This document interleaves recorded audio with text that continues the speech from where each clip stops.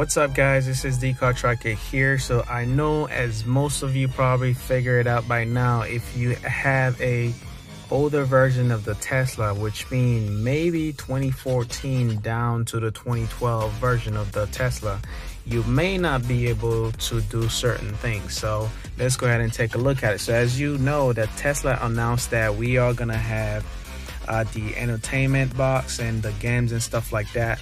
Uh, that they've updated the uh, infotainment system to be able to use these kind of features and stuff.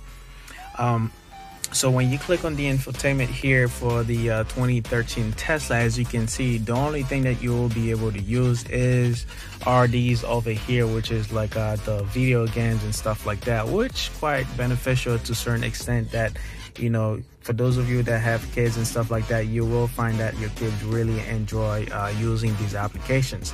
But as you can see here, if you look around the top, so if you have a 2016 uh, 2015 older version uh, Tesla, you will see a section here that says uh, theater.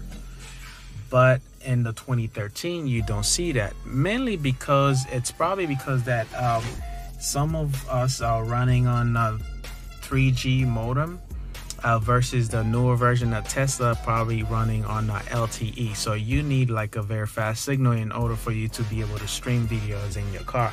And that alone may explain uh, the reason why you don't have the uh, and uh, the theater section here in your Tesla for you to be able to use uh, Netflix and YouTube and stuff like that when your car is on park. But aside from that, there may be other things. What's up, guys? This is D.